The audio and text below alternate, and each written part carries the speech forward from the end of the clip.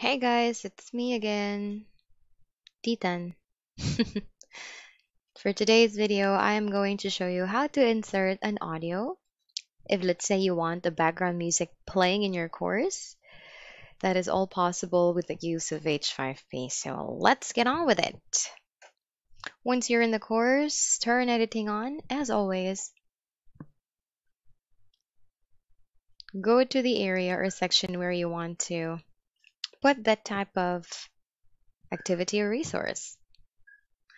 And since the audio isn't an activity, it is added as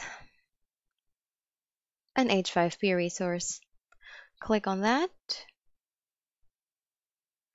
Then let's put its name or a file name.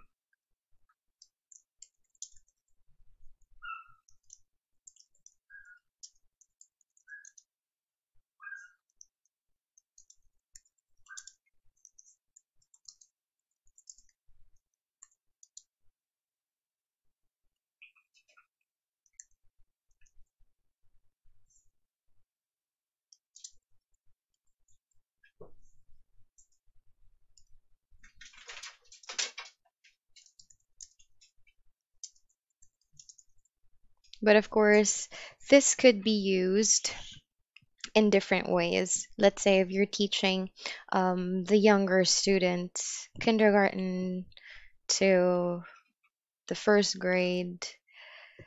So those students who like to listen to music, or if you want to let's say, um, put some nursery rhymes so the students can sing along while they are in your course. Go ahead. And also, this is good if you are um, teaching um, history and you are in the area of the music or MAPEH, anything that involves music, this would be good for your course.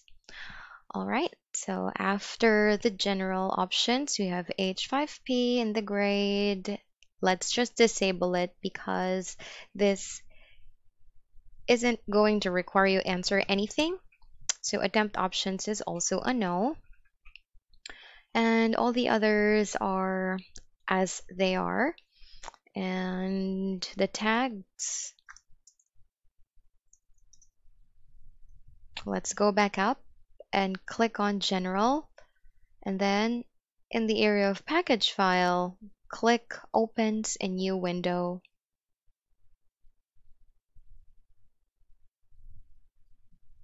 And add audio. Okay, let's put a title to it. Let's say I want background music in my course. I want my course to sound chill. so let me input the title as background music. All right, the source files, it could be in the form of URL from YouTube, or if you already have it in your device, let's say in your tablet, your mobile phone, or your laptop computer, you may choose this option. And since I've already um, downloaded the music I want to be heard in my course, I will choose this one. And oh, hmm, okay, background music. I want it, okay, to be this one.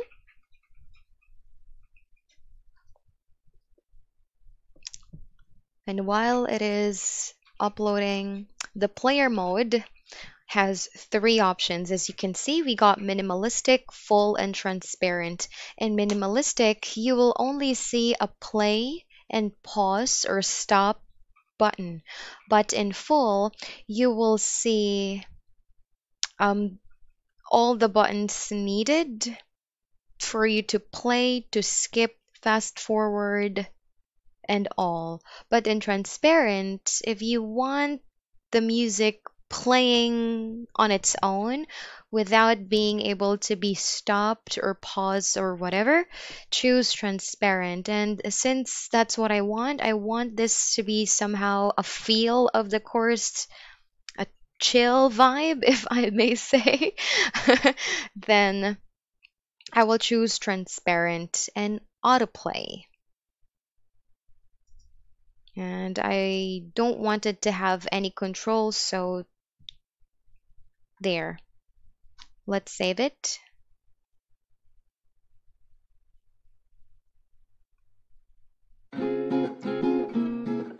See?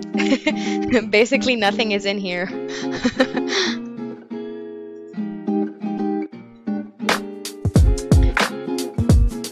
nice.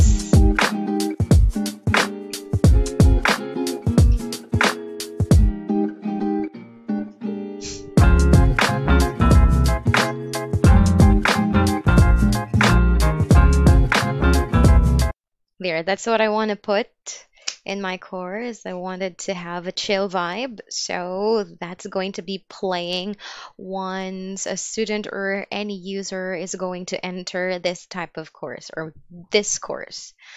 All right. And now let's go back to the page where we can insert it. Click on this box go to content bank and choose the one we have just created. Where is that? Background music. Okay, here it is. Select this file and save and display. And then there you go.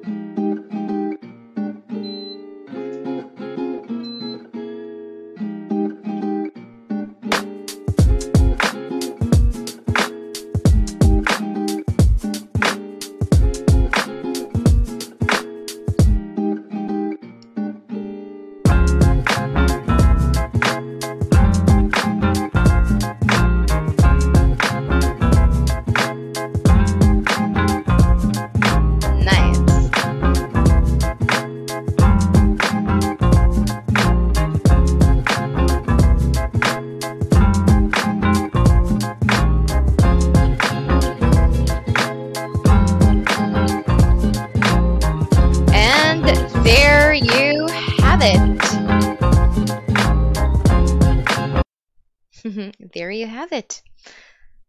The student will only be able to play it once he or she click on this H5P activity. All right, and so that's it. I hope you've enjoyed this video and we have done another great one to amplify your course. Thanks so much for watching. I'll see you again on the next. Ciao.